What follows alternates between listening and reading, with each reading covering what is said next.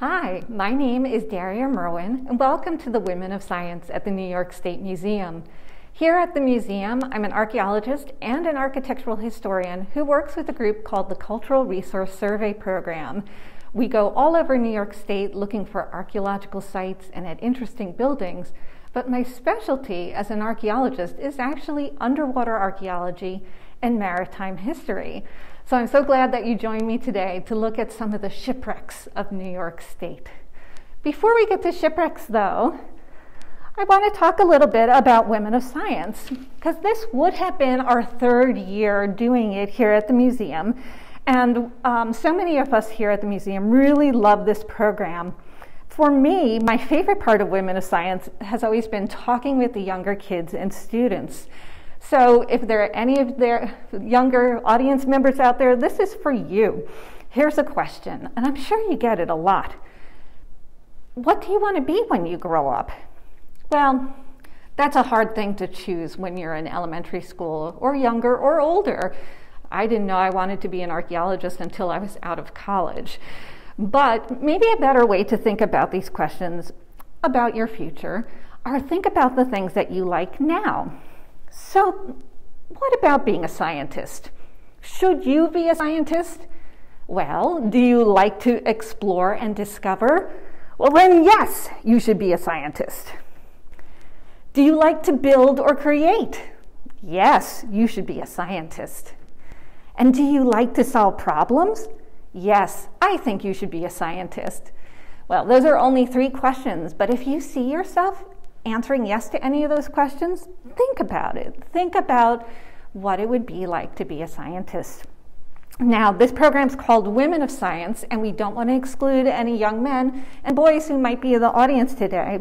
But why are we talking about women of science? Well, the main reason is that women in scientific fields today, even though we're half the population, we're not fully represented across the board in the STEM fields the science, technology, engineering, and math. And it seems to me that when you have more diversity, viewpoints, and experience, we get a fuller picture of the human experience and learn more. As a maritime archaeologist, I have a saying that I'd like to share with you. You may have heard this one before. It's a rising tide lifts all boats. So when we pull, pull women and girls up, it pulls men and boys up too, and we're all in this together. So, women of science. How about archaeology? Well, it might not be obvious to you, and it's not always obvious, but to me, archaeology is a science. At its very basic core, it's a social science where we think about humans and human behavior. We explore, observe, and try to understand the similarities and differences between human groups around the planet and through time. So, underwater archaeology, as a subdiscipline of archaeology, also leans heavily on physics for things like detecting sites and even chemistry for preserving the things we find. So, before we get to shipwrecks, I just want to acknowledge some of the women pioneers in underwater archaeology these are just a handful of the women in the 20th century who really paved the way for people like me to get involved in the field of underwater archaeology. It's Joan du Plat Taylor, Honor Frost, Margaret Rule, and there are plenty of others. So, how about today? Well, we are building on the achievements of those women from the last century and learning more about the world every day. So I'd just like to say hi to acknowledge our past and move forward together. So, shipwrecks. Wait, why are we talking about shipwrecks? Why do we care about shipwrecks beyond their obviously cool, ooh, look at that discovery factor? Well, underwater and other maritime sites can help us answer some big questions. But you might be looking at this picture here and you might be singing some songs from a movie to yourself. And let me tell you, I'll quote from the character in this movie We are all voyagers. All humans are descended from voyagers. Our ancestors explored, they explored every corner of the world. They did this by many means, Walking is a good way to explore your world.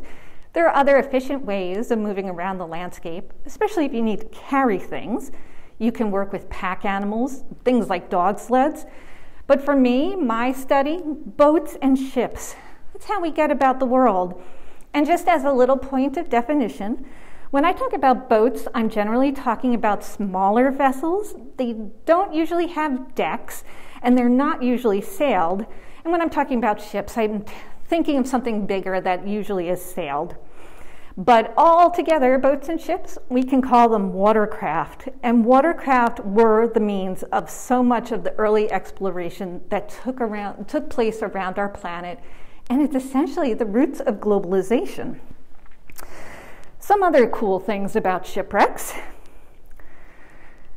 Ships often represented state of the art technology for their time. So, what we're looking at here is a ship called La Belle that was built in the 1680s and was sunk in 1685 in Matagorda Bay, Texas. This ship was designed to bring French colonists from Europe to the Gulf of Mexico, to the Mississippi River Basin, to start a new life. So, on this boat, those people carried everything they thought they would need in the new world. They had personal items, um, trade items that they intended to share with local indigenous communities, all the things that go into sailing a ship, and then food, uh, other, other resources, tools. Basically, contained within the ship was everything that people needed for their daily lives. And in this case, because it's a shipwreck, it was lost catastrophically. We've got something like a time capsule. So we get a snapshot in time that we don't always get on land archaeology sites where things can get reworked and taken away and broken and moved around. Sometimes when we have a shipwreck, we've got that snapshot moment of what life was like at that time. And just as an aside, waterlogged sites, shipwrecks underwater, often have really good preservation. If something is kept continually wet, we find things like wood and bone, leather, textiles, basketry, food remains, things we don't often find on land sites. So it's giving us more information. Now, boats and ships had and have many functions besides moving people and things around the world. They're also used for fishing, for making war or defending your territory, communication, even things like ritual and ceremony. People have long thought about boats as a way to transport souls to the underworld. The Maya, the Egyptians, the ancient Greeks, they all shared this in common. So there's a, a different sort of um, cognitive or thought aspect to boats besides their obvious function. Now, watercraft have a very deep antiquity meaning we know people have been using them for literally tens of thousands of years. And the way we know this is through something called circumstantial evidence. We don't have the direct evidence, but we know the continent of Australia was colonized more than 50,000 years ago. And at that time, people moving to Australia had to cross at least 60 miles of open water to get there. And really, the only way to accomplish that is through some sort of watercraft. Now, unfortunately, we don't have the boats themselves that are quite that old. The oldest ones we have right now are about 8,000 years old, and they are dugout canoes found in northwestern Europe. You can sort of see that at the bottom of the slide there. It looks like a plank. That is the remains of a very old boat. Now, here in New York, we know similar types of watercraft were used. We've got written accounts and depictions um, from 16th and 17th century European observers, such as this map here. And I, I like this example of a map because New York occupied a not unique, but an interesting place on the Atlantic coast when the European explorers came. It marked a dividing boundary between bark canoes that were used to the north and dugout canoes that were more typical for southern areas. So the first explorers coming into New York Harbor, 1524, that would be Verrazano, made observations of these two different type of watercraft that indigenous people used here. So dugout canoes, The museum actually has three dugout canoes in its collections. Unfortunately, these were all gifts to the museum, so not a lot is known about them.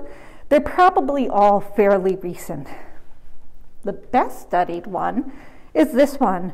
This is called the Glass Lake Dugout Canoe because it was found in, guess where? Glass Lake in Rensselaer County, which is just across the Hudson River from where we're standing today.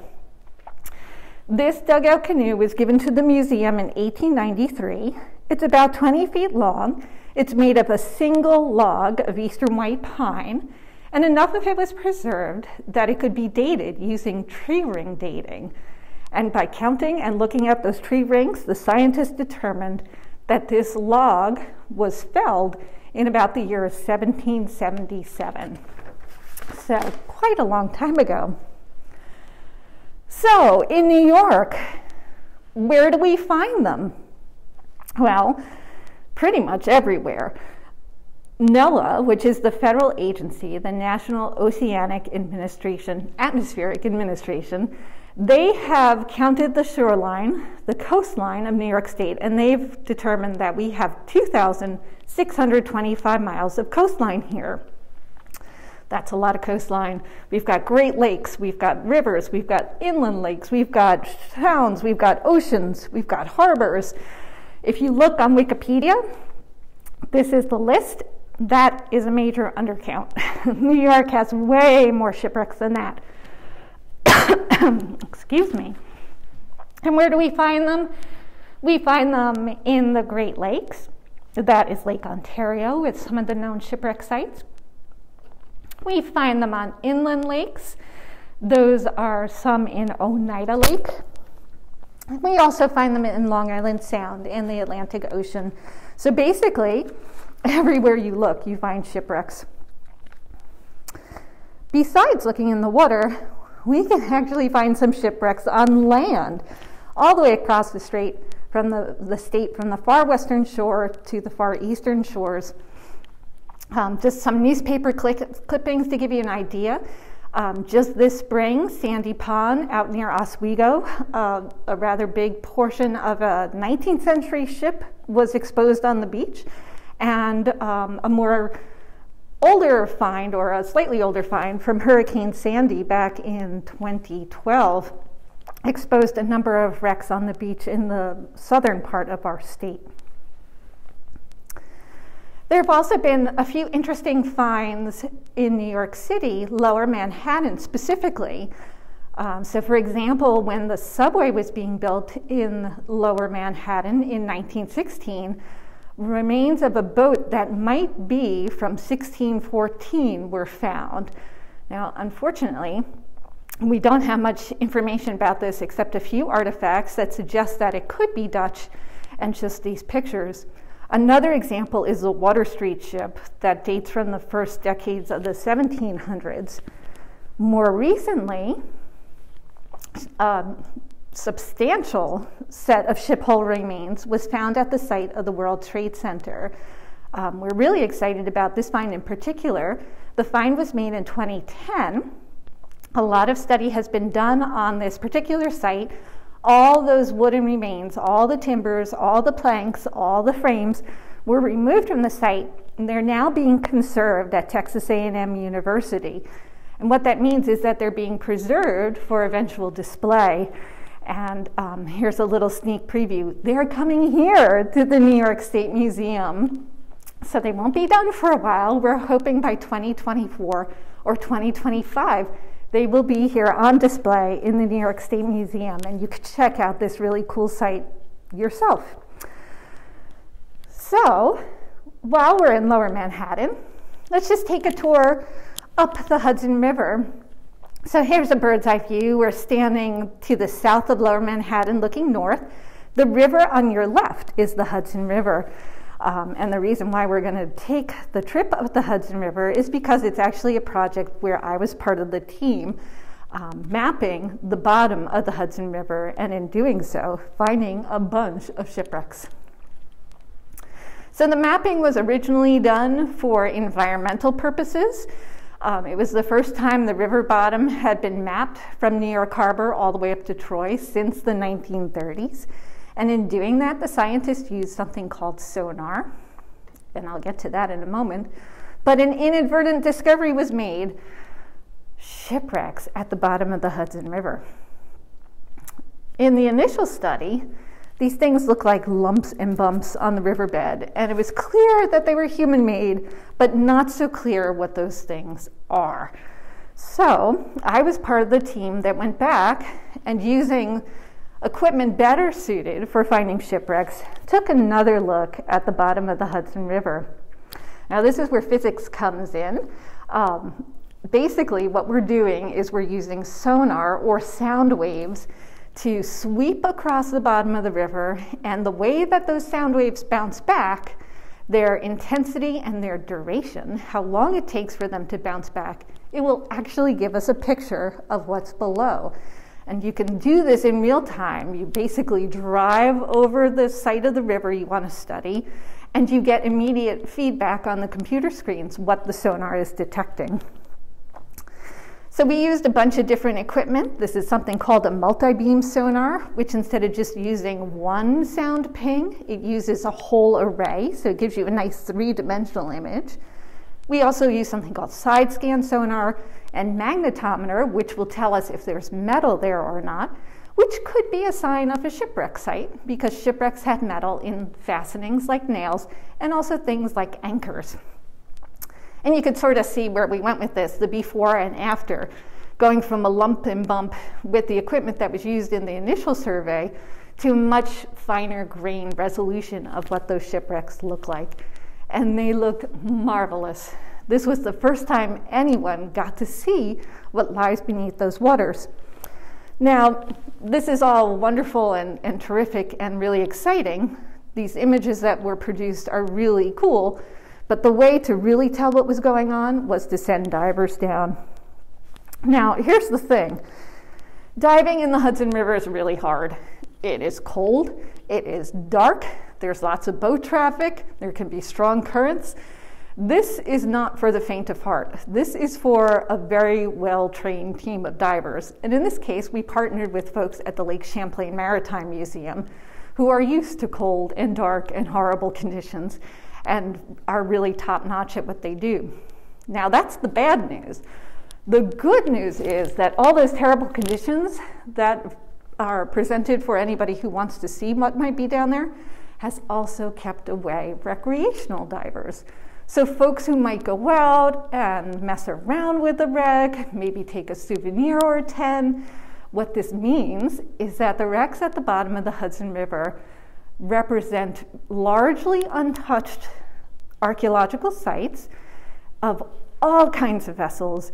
It's basically an intact museum on the bottom of the river. So, our job as archaeologists is to find a way to get that information to you, the public, so you can also understand and appreciate what might be down there. Okay, so I know we're going through all the shipwrecks. Um, I'm just going to give you a, an overview of some of the things we've seen down there we saw a wide range of boat types, and we know what they are now thanks to the sonar imagery and following up with the divers to verify what we saw in the sonar really is what we think it is. In many cases, the boat types we are seeing are only known through documents, things like paintings, written descriptions, other forms of communication we don't have any surviving examples of, for example, this very famous boat type called the Hudson River sloop. They were everyday common boats on the Hudson River. You might have heard of the sloop Clearwater that still sails today. Well, Clearwater is a replica built in the 1960s.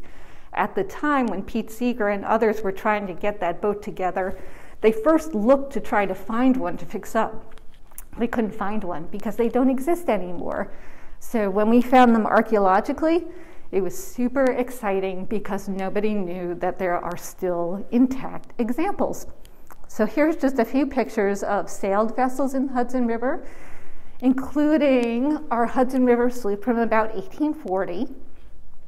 That structure in the middle is called a centerboard. That was actually so you could raise and lower the structure that was used as a keel so you could bring this vessel into very shallow areas.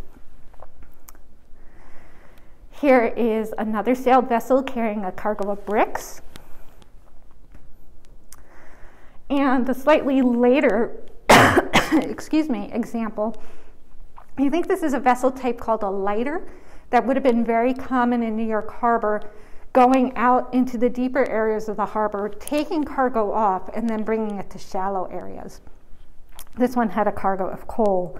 So those are some sailed vessels. We also have a bunch of canal boats.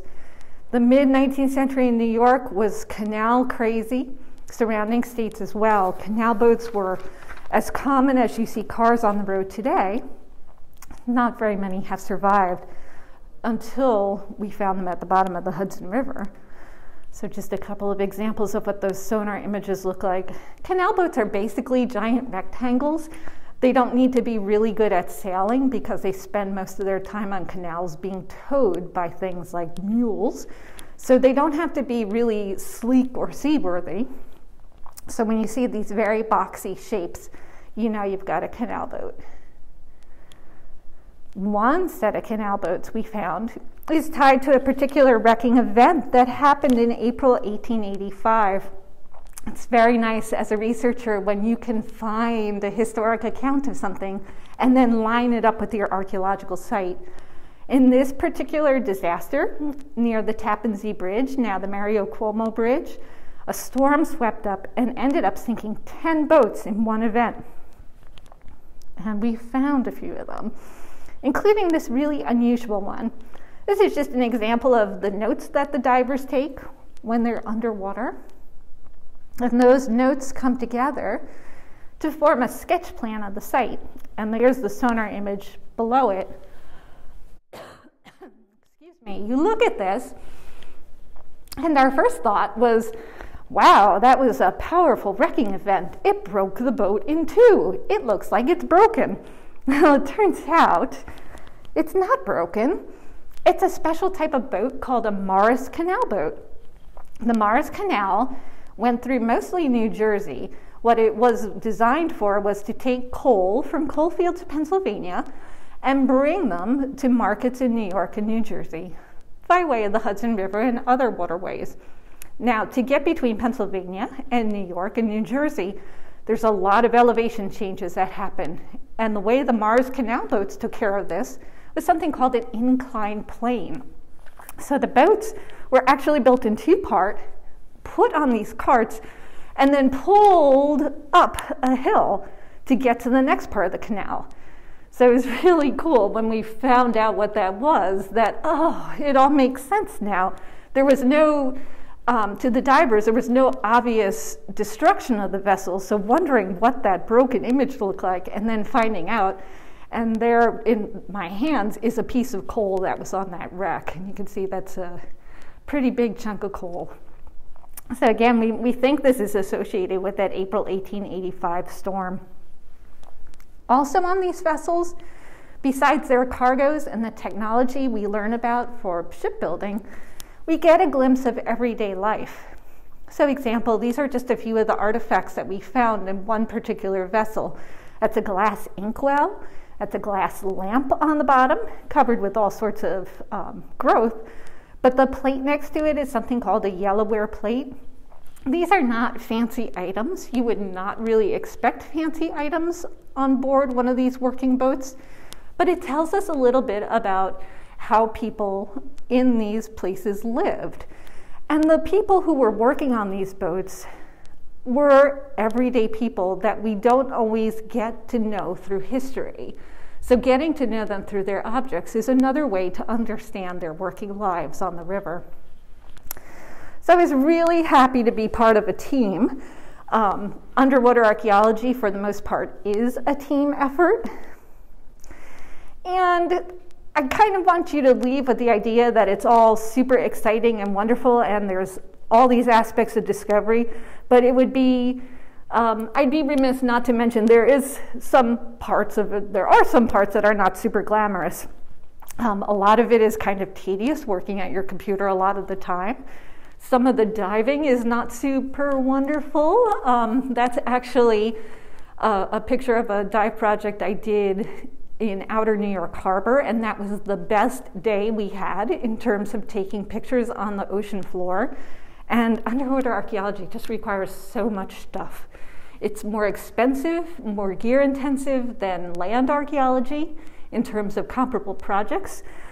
Um, but that's sort of the downside. And you might be wondering, well, is it worth it? And my answer is yes, absolutely. Besides the discoveries we make, um, as a scientist who likes to work in a collaborative environment, one of my favorite parts is the mentoring that can take place as well. This is just a screenshot of a well, a, a, photograph of one of the projects that I led. This is the same project um, in outer New York Harbor, where I was working on my dissertation research. So I did the field study as a field school, where people came from all over the country, students, to learn how to do things. And because we were all young and learning together, it was a very collaborative environment. But I'm really proud to say that most of the people who took our field school have gone on in the field. Um, here, just from left to right, um, Matt on the left is a PhD student. Amy in the middle has her PhD and is teaching on the West Coast. I got my PhD, and then Matt on the right, two Matts there, he's got a master's degree and is still working in the field as well. So, that aspect of solving problems together, figuring things out, how to collect your data in adverse circumstances, um, that teamwork, that mentorship, I really, really enjoy that part of it as well. So, that was a very quick tour of shipwrecks in New York, but there is so much more to explore. Definitely check out your local library. Um, there are shipwrecks books for the state, a bunch for Long Island and the Atlantic Ocean. There are some for each of the major lakes as well. I'd urge you to check those out. If you're a diver and anywhere in the eastern part of the state, we do actually have submerged heritage preserves in the state. Right now, they are all in Lake George, where the diving tends to be quite nice. Uh, it's cold, but it's clear. And there are a number of really cool archaeological sites that you are allowed to go check out.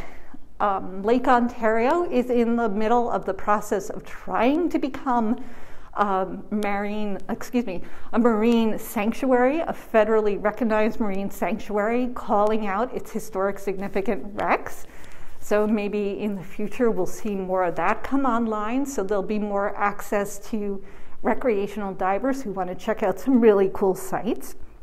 So, books to explore, sites to explore, and I'll leave you with the question Are you a future trailblazer? Will you be the next underwater archaeologist? I hope so. Um, but there you go, come with me. Thank you so much for joining us today. And if there are any questions, I'd be happy to try to answer them. We did have one question. All right. Um, how is a shipwreck preserved for display, such as the one you mentioned with the World Trade Center? Ooh, that's a good question. I just mentioned a couple of minutes ago one of the downsides to doing underwater archaeology is that it tends to be expensive, and that definitely extends to preserving the artifacts. When you recover artifacts, especially things like wood from a waterlogged environment, you can't just leave it to dry out. It will collapse, it will disappear within a matter of years. So, in the case of the World Trade Center ship, and most of the larger vessels that have been taken from the seafloor and put on display, they go through something called conservation, where if it was in a saltwater environment, the first step is to get all those salts out.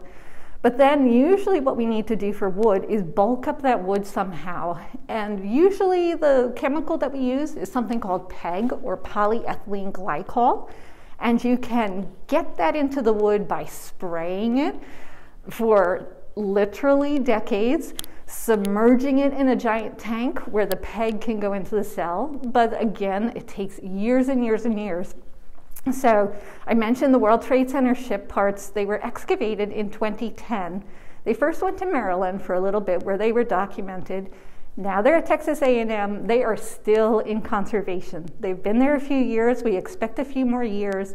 It's not unusual for a ship hull that size. And I, if I'm remembering correctly, the length of that segment, it's not actually the whole vessel, it's most of it. It's between 30 and 40 feet. It's not unusual to take a decade to slowly impregnate that waterlogged wood with the PEG, the polyethylene glycol, to make it stable once it dries out. So it's a very controlled process, it's a very lengthy process. So you need people, you need um, researchers.